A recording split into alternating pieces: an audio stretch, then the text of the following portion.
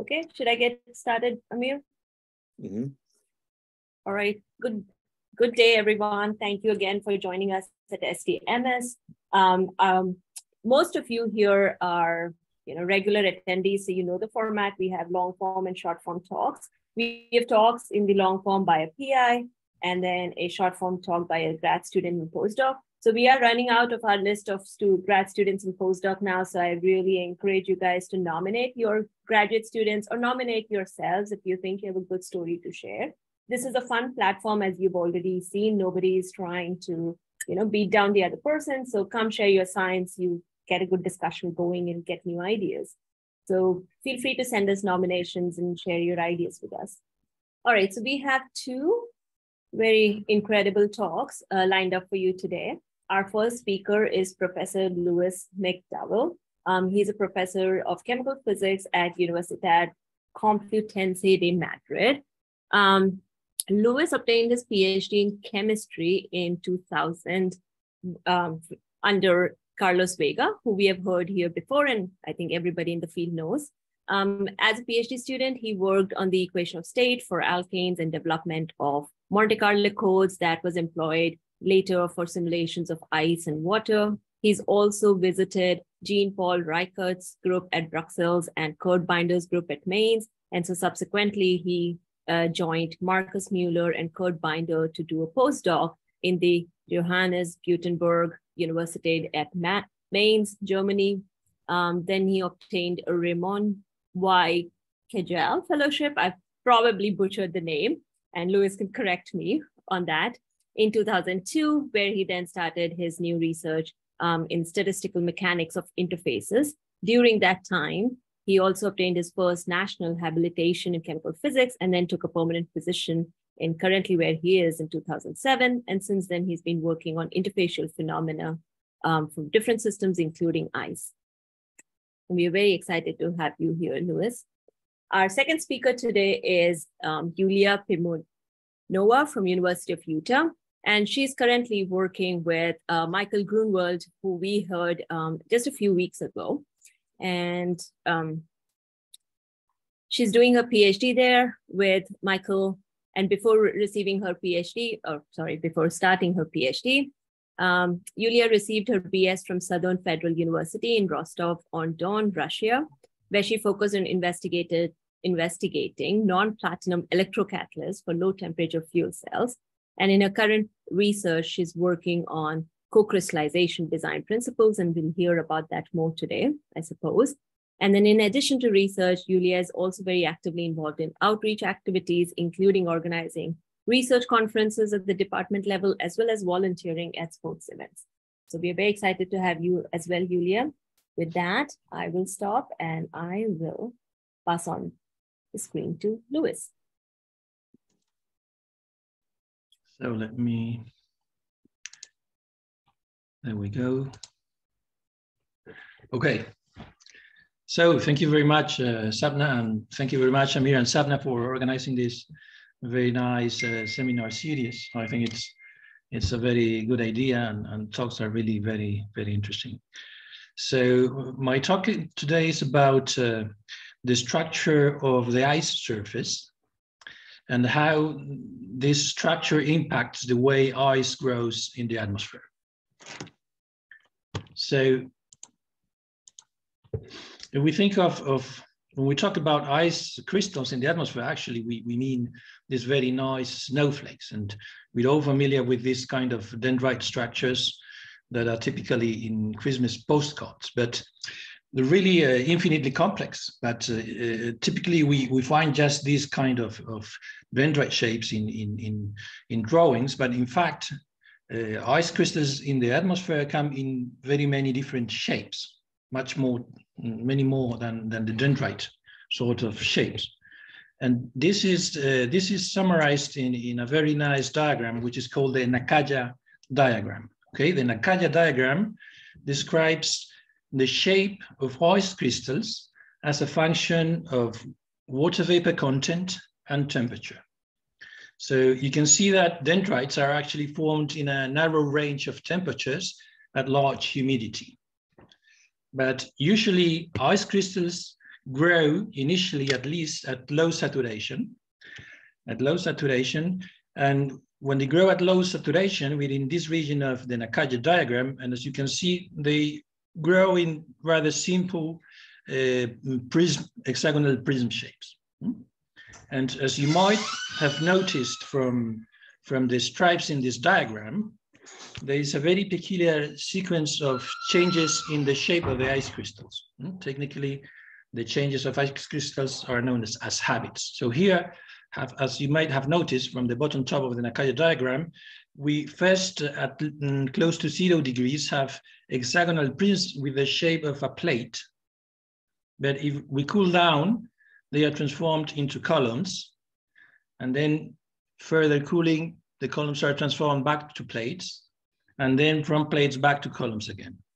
And so that's a very intriguing sequence of transitions of crystal habits, which is, is I thought, a very challenging and interesting problem to study. And it is it has it's really poorly understood the reason why these uh, transitions could occur.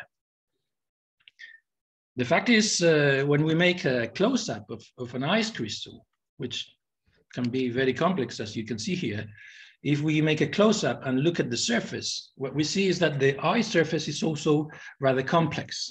Hmm? So this, this uh, snapshot from a simulation is showing ice, which is here in dark blue, and on the surface of ice, you don't get a sharp termination of, of the ice uh, lattice, but instead there are a few molecular layers which melt. Eh? And these are shown here in turquoise, turquoise green. Eh? These atoms here are melted water molecules. The melted water molecules. And so we say that the ice surface exhibits pre-melting. That is a quasi-liquid layer, hmm? a layer of ice molecules that has been sort of melted and so it's a layer with properties similar to water. And one conjectures that this complexity perhaps is the reason of this uh, sequence of transitions that uh, I have shown in the Nakaya diagram. So the outline of this talk is first uh, uh, trying to ask two main questions. First, can we characterize the ice surface, or particularly, can we characterize this uh, uh, complex surface structure of ice? And this means, first of all, can we define an equilibrium film thickness, a well-defined equilibrium pre-melting film thickness, huh? the thickness of the quasi-liquid layer, then what the structure of this quasi-liquid layer is, and whether we can measure the properties of such layer by studying surface fluctuations. Okay, notice that surface fluctuations or fluctuations are a very usual way to measure and probe properties of systems in a non-invasive way because you just let the system evolve, measure the fluctuations, and fluctuations typically always have some input on uh, important uh, parameters, thermodynamic parameters of the system, okay? And that per se, it's an interesting goal. Can you see my pointer, by the way? Okay, that's an interesting goal, but then we will try to answer whether that information on the equilibrium surface structure can allow us to understand how does ice growth in the atmosphere. Hmm? So whether we can predict the out of equilibrium behavior of ice from the equilibrium structure of its surface. Okay, so the first question we need to answer in order to characterize the equilibrium structure of the ice surface is whether what is the thickness of this quasi-liquid layer, okay? And of course, if you have a question there, you, you might be tempted to do some experiments but unfortunately, it seems that experiments are providing conflicting results. Okay, so this figure here, borrowed from, from a recent paper, is showing just a very, very small sample of how much experimental measures are scattered. Hmm? Some like this green measurement from ellipsometry or this red measurement from X-ray diffraction appear to be suggesting that as you approach the melting point, the quasi-liquid layer thickness is diverging. Hmm? But in fact, computer simulations, which have difficulties attaining zero, appear to have much smaller film thicknesses, and other experimental techniques also appear to be suggesting that the film thickness is limited. Hmm? So that's a problem that it's unanswered, and you can look in several recent reviews on the subject, which are perhaps inconclusive on this issue. Hmm? The way uh, people with uh, experience in, in surface physics and wetting theory approach the problem of adsorption is that is what is the thickness of the quasi-liquid layer is by studying the interface potential. Okay, what is an interface potential? An interface potential is a measure of the free energy of the layer as a function of film thickness. Hmm? And interface potentials come in two flavors. Either you have an interface potential with a local minimum, that is an absolute value, uh, an absolute minimum of the free energy at finite film thickness. In that situation, then you'd be like in this situation here. When you approach the melting point, the film thickness remains finite, just because the free energy is minimal at the finite value of the film thickness. The alternative is that you have a minimum, but at infinity, very far away. And in that case, you'd have this situation like the green line. So the film thickness is diverging. Okay, so that's are the two possible outcomes of an interface potential. And the question then is, well, why care about interface potentials? Because we can do the measurements experimentally. And the good thing about interface potentials it, is that there is a large body of uh, theoretical uh, knowledge that allows us to constrain very much how the interface potentials should look like. Hmm? So first of all, let's try to see how we could measure the interface potential for such a tricky system as ice, uh, as ice, as the ice surface, because in fact, uh, when we measure interface potentials, usually we like to change the vapor pressure. And that's why, and that's the way it's done in experiments. But here we have a single component system. So we cannot just simply change the pressure and measure the film thickness because then we'd be out of equilibrium and then we cannot have a meaningful film thickness. So what we must do is to study only the system along the sublimation line. This is the line where solid and vapor phases are in equilibrium. And only there you have a meaningful uh, pre-melting film thickness of finite thickness. Hmm? And the problem then is that the total surface free energy is equal to the interface potential, which measures the free energy when you are along the liquid vapor coexistence line because the interface potential assumes equal chemical, chemical potential of vapor and liquid. But in fact, we are here. So we must, we must account for the free energy cost of pulling the liquid film from this point, where it is at coexistence with vapor, to this point, where it is not, okay?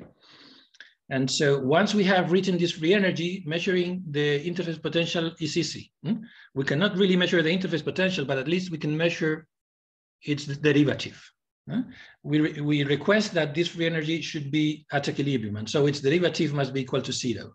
And then immediately we arrive at this relation. The derivative of the interface potential must be equal to changes in pressure, where this is just a Laplace pressure difference. It's just the pressure difference between the bulk liquid and the bulk vapor at the coexistence chemical potential, hmm? at the coexistence chemical potential of ice with vapor, okay? And that uh, this function here is called pi, the disjoining pressure. Hmm? So the way you measure interface potentials is make a simulation of your equilibrium film thickness, find what the film thickness is, and to each of those values, you can associate the Laplace pressure difference. Hmm? And that gives you the, the, derivative of the interface potential, okay? So we have performed those calculations for TIP4P ice, and here I'm showing the film thickness as a function of temperature for the basal and the prism surfaces. Hmm? So once we have those interfaces potentials, we make a simple equilibrium thermodynamic calculation to get the Laplace pressure difference. And then that allows us to map film thickness to disjoining pressure. Hmm? Here you see the disjoining pressure as a function of film thickness. Hmm? The disjoining pressure as a function of film thickness is the derivative of the interface potential. And as you can see, we are getting positive disjoining pressures which appear to decay monotonously. So if you recall, an interface potential or its derivative decaying monotonously, that is suggestive of having complete uh, wetting of, of the pre-melting layer mm? because we never have a minimum according to those figures. Mm? The problem here in the simulations is twofold. First is that it is very difficult to measure film thicknesses beyond about one nanometer because you'd need very large system sizes to measure uh, larger thicknesses. And the second uh, is that it's very difficult to approach very precisely the melting point because the system is finite and the thermostat has some uncertainties. And so you cannot really approach the melting point under a very controlled manner. So, and the third problem is that typically you are truncating long range forces. You are truncating the Lennard-Jones tail of your potential, which has a contribution, and it's actually very important as we will see. So this information is not sufficient. We need additional information. Hmm? And the additional information comes from theory, okay? According to theory, the interface potential is the sum of two main contributions. One is the short range part of the interface potential, which accounts for packing effects and correlations. And the other is the long range part of the interface potential, which stems from the van der Waals interactions. Okay. And the theory says that this short range part, that's the way it's called short range, decays fast. As you can see, it decays exponentially and could have some oscillations. Okay. So we take this into account for our measurements of the short range part of our interface potential, hmm, we're going back to our results that you've already seen. We make the fit and we get a very nice fit to the model of short range intermolecular forces. Hmm? But as I said, this is not sufficient because then you, we must account for the uh, van der Waals uh, uh, contribution to the interface potential. And the van, van der Waals contribution to the interface potential has this decay. It decays algebraically, which means it decays much, much slower than it does the short range part, okay? And the crucial issue here is, what is this constant? This is the Hamaker constant. Huh? And the value of this Hamaker constant is going to decide exactly what is the fate of the pre-melting layer thickness. Huh? We will see why. And there are very sophisticated theories to determine the Hamaker constant, but in fact, there exists a, a, nice result from thermodynamic density functional theory, which is quite accurate, in which you can estimate this Hamaker constant from this equation, okay? Epsilon and sigma are the Lennard-Jones parameters of your model. And then we just need to account for these density differences. So the density difference between vapor and liquid, vapor and water, that's negative. And exceptionally for ice, hmm, the density difference between the solid and the liquid also is negative. Hmm, so this is a singular behavior of ice because of its anomalies. And therefore, what happens is that the Hamaker constant for, for this problem is positive. So if it's positive, it means that the van der Waals potential is negative. And this means that it is an attractive potential, an attractive potential to the film thickness. So it means that long range forces are attracting the film thickness towards the ice surface. And as a result, the final outcome of the interface potential exhibits this clear minimum here okay, this clear minimum. It's the result of wetting from the short range contribution and non-wetting from the long range contribution. And so that's the theoretical conclusion from, from wetting physics, okay? From wetting physics, it's clear that there should be no surface melting on pure ice. Hmm? Things could change if you put impurities, but for pure ice, there should be no surface melting, which means that the quasi-liquid layer remains of finite thickness up to the melting point. Okay. Now, this uh, uh, theoretical uh, expectation actually is confirmed uh, with uh, from very nice experiments performed by Sazaki and collaborators, where they, they look at, at the ice surface with, using confocal microscopy, and they can clearly find that eventually at sufficient saturation, water droplets form on top of the ice surface. So what that means is that, say, partially ice is hydrophobic. It doesn't like to wet completely and has water droplets on it. So it's consistent with, with the theory. But these experiments have brought a very uh, complex uh, question also, uh, which is paradoxical, because if you look at, at this uh, picture here, where they, they, they are measuring the ice surface at very low supersaturation, they can clearly see steps. And these steps are of molecular size. So that's really like steps growing on top of ice. And the conjecture, and actually you can see this very, very nice, nice picture where you see the steps propagating below the droplet, okay? And so uh, this uh, author said, well, steps are a feature of very ordered surfaces. They are typical of high temperature, high energy metals. So if we are seeing steps, then we cannot possibly have a pre-melting layer at equilibrium. And then they claim then that the layers that are observed are actually not layers, but droplets. Hmm? And that looks reasonable from these pictures, but how can we reconcile that observation with our simulations where we clearly observe pre-melting, okay? And so to understand this, we also had to um, go back a little bit to theory. Hmm? And in theory, mm, there are two types of canonical interfaces. You have uh, the typical fluid vapor interface, which is rough. Hmm? It has undulations due to entropy. Hmm? And then you have the canonical high energy solid surface, which is flat, mostly flat. And because, and the entropy here is not allowed to make undulations, but it's just allowed to make molecular size steps. Hmm? These surfaces here are smooth, are called smooth, and these ones are called rough. And in fact, solids at sufficiently high temperature many times exhibit a roughening transition in which you go from this smooth surface into this rough surface, still being a solid. Hmm? And this has very important consequences in the growth rates, because for the growth rates, if you are smooth, you are going to grow by 2D nucleation, two-dimensional nucleation. It's an activated, slow activated process. But if you are rough, you are going to grow by a mechanism that is linear in the saturation. Okay, so it's a very important difference. So let's go, let's look back to our interface. Our interface, what is this? Is this smooth or rough? Is the, should this behave like a fluid-fluid interface or should it behave like a solid-fluid interface? Because if you think of this pre-melting film, actually it's formed of two different surfaces. You have a surface that is separating the solid from the liquid, and then another atop that is separating the liquid from the vapor. So th this brings a, a, complex question because we're not in the canonical situations that folks have usually uh, used to, to distinguish different surfaces. So here we had to sort of uh, write down a, a, a, new theory for the problem. And what we write down is an equation for the free energy. this is an attempt to measure what is the free energy cost of fluctuations in our system. Okay, so we have our interface, here's the solid, and it has a solid liquid surface, and here's the vapor, so it has a liquid vapor surface. And we would like to know what's the cost of having fluctuations at these surfaces. So first, we need to account for fluctuations of the solid surface away from plan planarity.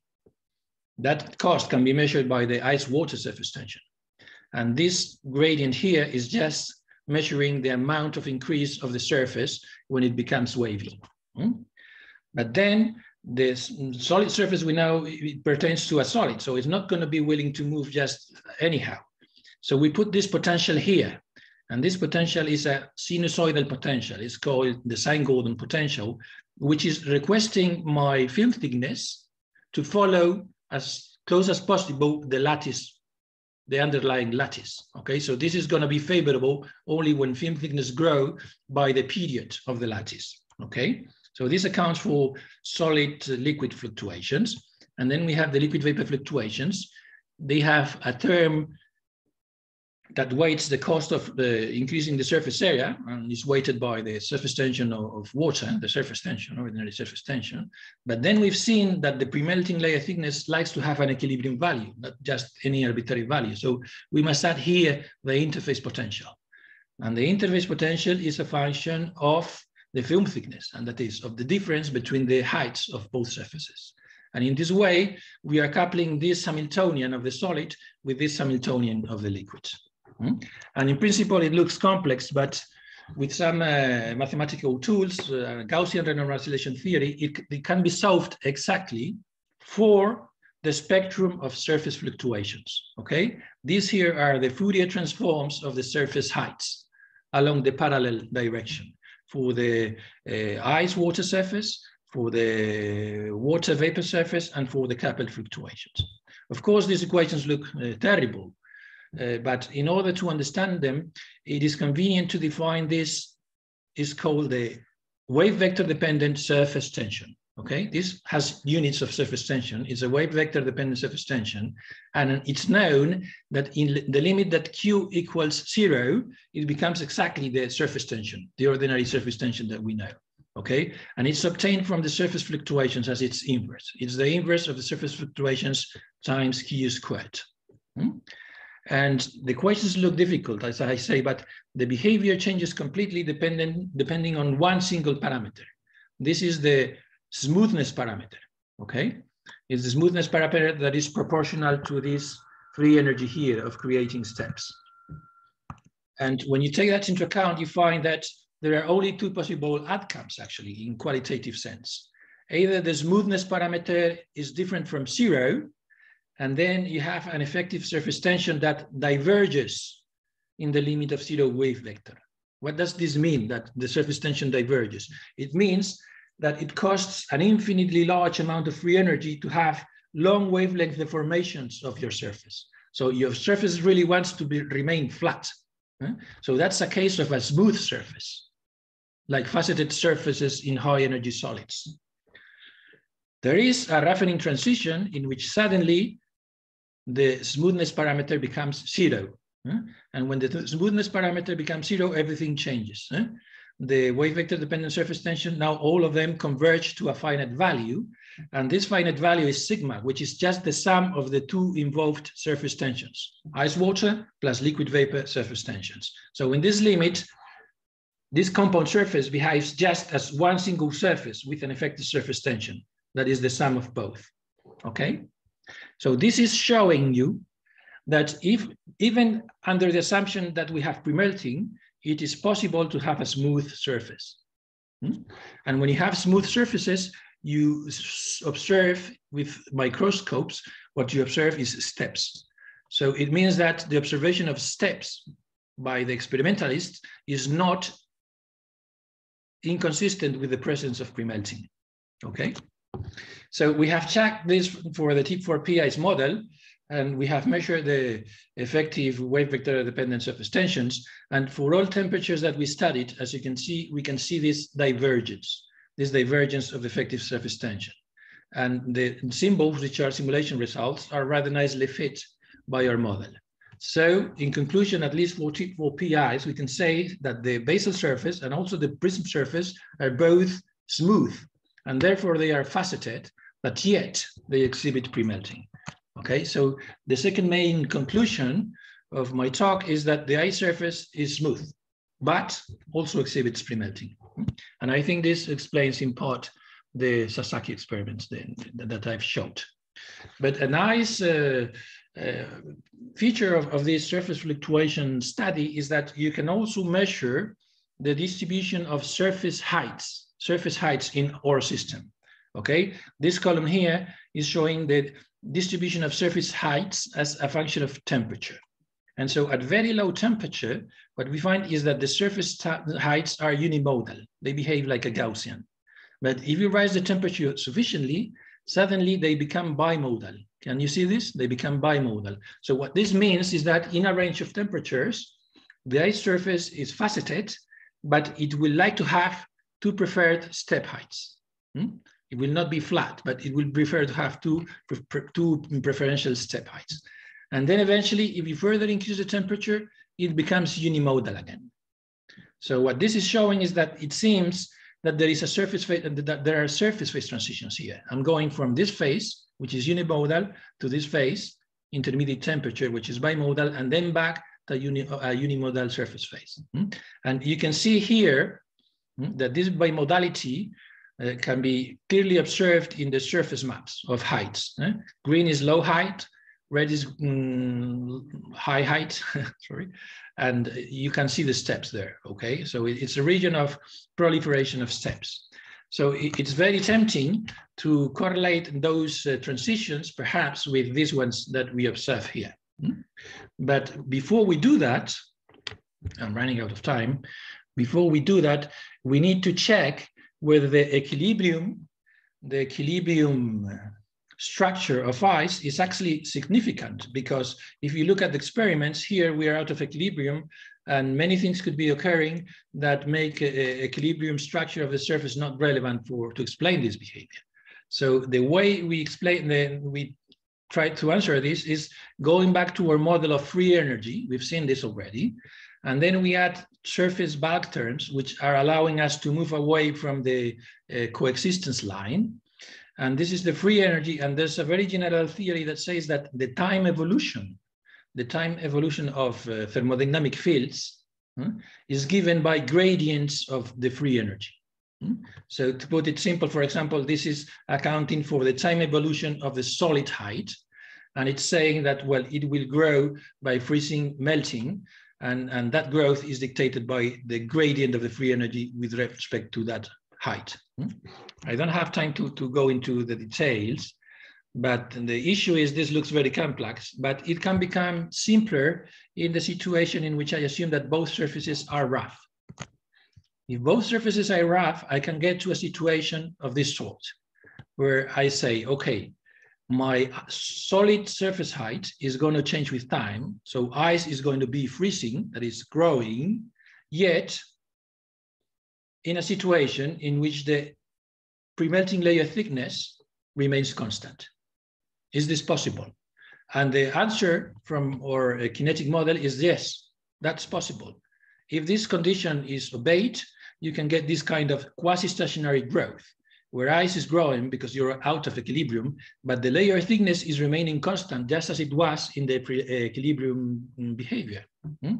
And the condition allows us to map the disjoining pressure, which have measured, we, which we have measured already from equilibrium simulations, with a kinetic Laplace pressure difference, eh, which is given by pressure differences and the rate constants of the kinetic process. Mm? So then what happens? What happens is that we get a dynamic phase diagram that has allowed us to draw this red line and this blue line. Mm?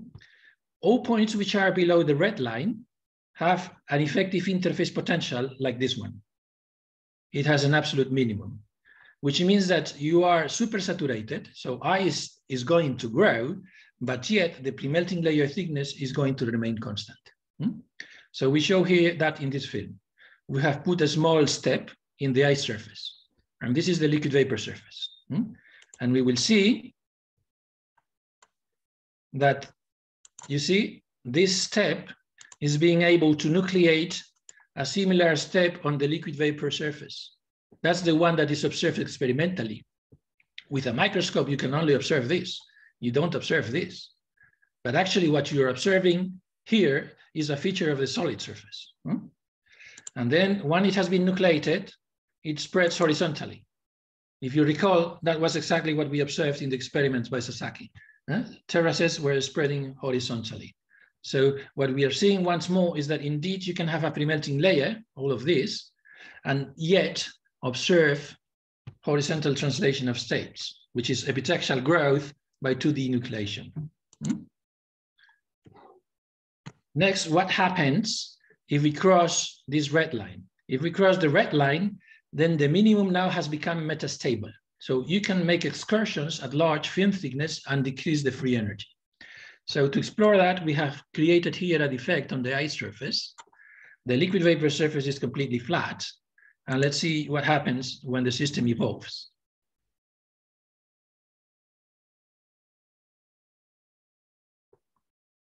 Okay, you see that a droplet is formed.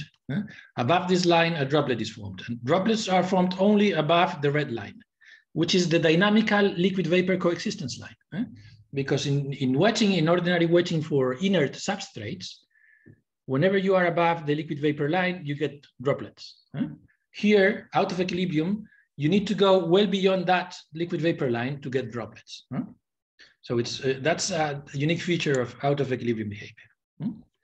And finally, if we cross the blue line, we start our simulations here, then I start with the same small defect as I, I started in the first uh, movie.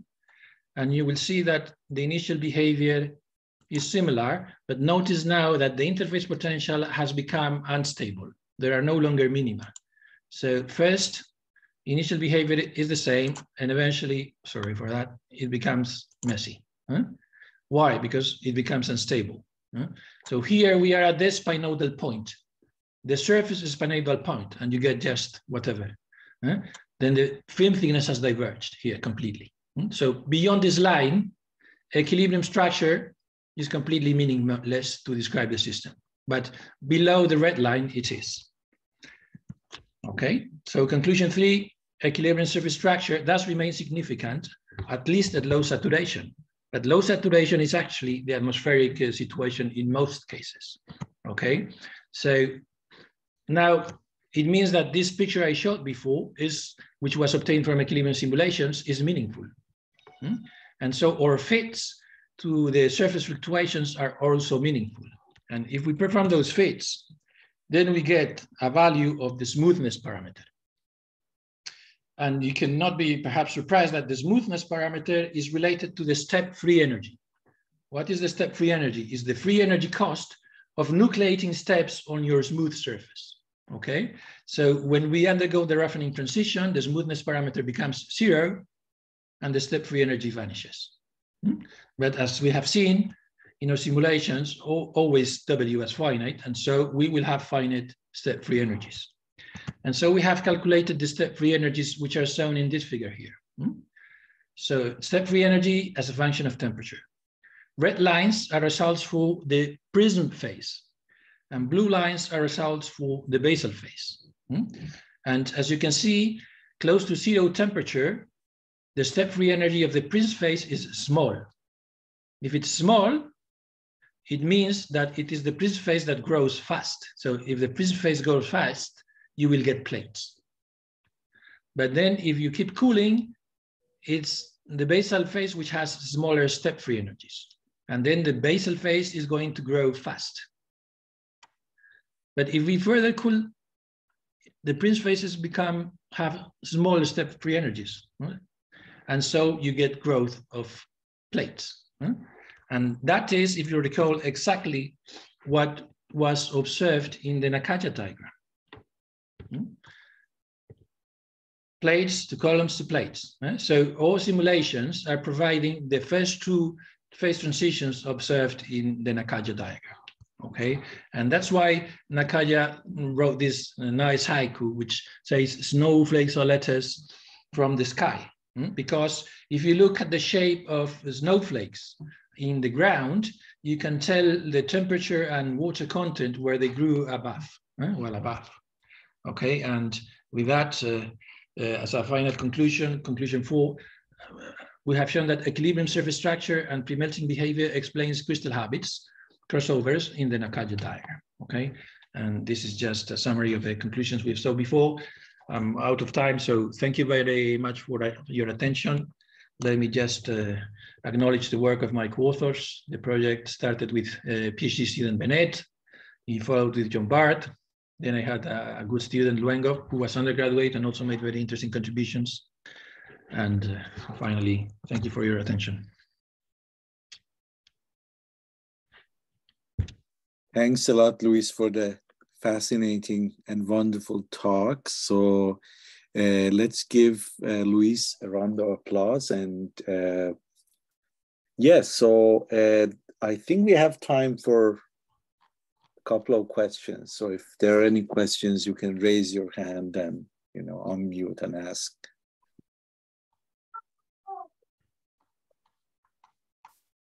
Yeah, I got that. Yeah, maybe I can start and then uh, until like others are uh, actually thinking about questions. I got a bit confused because it looks like based on your uh, the film thicknesses that you got from your simulations, you concluded that the surface of ice is smooth, but then when you uh, you are creating these models later for how these different basically parts of the layer are growing or shrinking, you assume that it's not rough in the sense that W is not zero. Like I got the, I lost the connection between the two. How, how did you go from smooth to rough? So no, the issue is, let me go here, that in surface physics, this was uh, developed in the 80s, we have two canonical type of surfaces, the rough ones and the smooth mm -hmm. ones.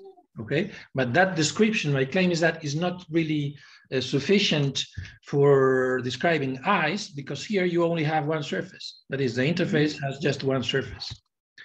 In, in ice, if we want to describe the pre-melting film, you have two surfaces. So the question is, uh, because uh, rough surfaces are typical of the liquid vapor interfaces. Liquid vapor interfaces are always rough. But here we have a solid liquid interface, which could be smooth. And so when I apply the theory to this more complex problem with the same Hamiltonians that you study the pro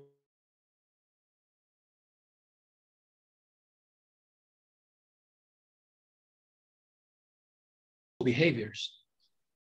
You could have both behaviors in the presence of pre-melting. Mm -hmm. But uh, what we are observing in simulations is this behavior, which corresponds to finite smoothing parameter, smoothness parameter, and therefore it implies that the ice surface is smooth. So the implications are several. It means that the ice surface is smooth. It means that the growth is activated. And so it grows by 2D nucleation. Mm -hmm. This does not mean that we cannot have uh, defects on the surface. Perhaps you, this is confusing you. This is a smooth surface with a defect. If the defect would grow from just wherever, then it would be rough, but it only grows by nucleation, by spreading of the defect. Huh? When we go make the film, I see. The only way you can get ice growth is layer by layer. It's by spreading of this initial nucleus. Hmm? Okay? I see. This happens if you are sufficiently close to saturation, that is at low saturation. Of course, eventually, when you cross this spinodal line and the system becomes wide, you are no longer, you are no longer smooth. This is called kinetic roughening. When the system becomes very saturated, then it's no longer representative of the equilibrium situation and you get kinetic roughening. And that's why here you get uh, initially an activated scenario, but very soon the instabilities, you see that's rough, that's, that, mm -hmm. that becomes rough, but it's kinetic roughening. At equilibrium and at low saturation, it's smooth. Mm -hmm. I think I see Baron. Uh, yeah, um, I, uh, I, a fascinating talk, Luis. I liked it again. Um, I, um, I, I want to ask if, if it's, uh, if there's any reason to rule out growth uh, consistent with, with what you showed us by spiral mechanisms, where you have still a mostly smooth surface uh, with a uniform pre-melted layer over the top, um, and and and those uh, those edges spreading in spirals. So that's that's a very good question, Baron. So uh, whenever you have a smooth surface, you can grow either by 2D nucleation or by spiral growth. So spiral growth is consistent with uh, smooth surfaces. I mean, you wouldn't get spiral growth in rough surfaces. Mm -hmm. You only get it in smooth surfaces. So by the same, uh, with the same model that I have used for describing this uh, 2D spreading by nucleation, I am persuaded that one could describe also spiral growth. And that would be a very nice project. But then we would need to extend this model numerically to two dimensions. Okay. Okay, so David Sibley, who, who, who performed these numerical calculations, he, he was excited about doing that, but uh, I think he has been very busy and, and never has got to do it. But uh, let me tell you that for one single surface, one single smooth surface, which would be described by a single Sine-Gordon model, then spiral growth can be, can be observed in the model. So I expect that we'd see here also spiral growth, but with a pre-melting layer. Okay. And indeed, in the experiments, they observed the spiral growth. Thank you. We have Ravi yeah, very nice talk. So, I mean, I have a question regarding the surface transition mechanism. So it starts from unimodal to bimodal and bimodal to unimodal coming back again, right? So mm -hmm. is it specific to the ice planes uh, like a basal or prismatic, or is it a kind of universal for any phase? This one here is, these results are specific to the basal phase. Okay. Mm -hmm. I have similar results for the prism phase, but for the prism phase, they occur at different temperatures and they are less obvious. The bimodality is less obvious. Say that this this minimum here is higher, so it's not as, as obvious. So it's not. It's definitely not universal. It, it's a rather unexpected uh, behavior to have mm, this transition, and as far and it, it's a kind of transition that was uh, speculated to occur by physicists in the 90s, but in very little cited papers. So it's a rather uncommon situation. And the most intriguing fact, if, you think about it, is how when you increase the temperature, which is like uh, meaning to promote entropy, you go from bimodal to unimodal. Huh? That's unexpected. So that's like being sort of close to rough here because we have two preferred heights, and then moving back to smooth. Hmm? And the reason why this happens, I believe, is that because here you are trading uh, surface disorder uh, for, from heights of the surfaces into surface disorder of the melting, the pre-melting film. You know, that's my speculation, that you trade okay. The entropy of the liquid molecules that have grown in the pre-melting film here for the entropy that you had for the different heights. No, I mean, my, I mean, my question was like, yeah, I mean, I understood uh, uh, your point. So usually in the literature, like basal phase grows like uh, layer by layer, right? So that might be consistent, but when it comes to the prismatic plane, like because it's a rough surface, I mean, having two different kinds of uh, plateaus, I mean, that uh, I was confused about. So that's a good observation. Look, uh, perhaps you are familiar with the ice liquid interface, which is not exactly as the ice vapor interface. Okay, so if you look at the Nakaya diagram, if you look at the Nakaya diagram, where is it? Here. Can you see sharp edges here? Yeah. If you see sharp edges, this, this, is the Prism face. Mm -hmm. If you see sharp edges, it means it's smooth. So uh, uh, ice crystals are, have a Prism face which is smooth up to minus two degrees. At minus two degrees, they become round. Mm -hmm. Okay, that, that was illustrated here, I think, in the, where was it? Uh, was it, where was I telling the difference between smooth and rough? Here, okay? So if you are in the below the smoothening transition, you get sharp corners. If you are in rough, you get rounded corners. For the Prism phase of ice in vapor, you get this transition at minus two. If you have ice in water, the transition occurs at minus 14, minus mm. 14, okay? Yeah, thank you.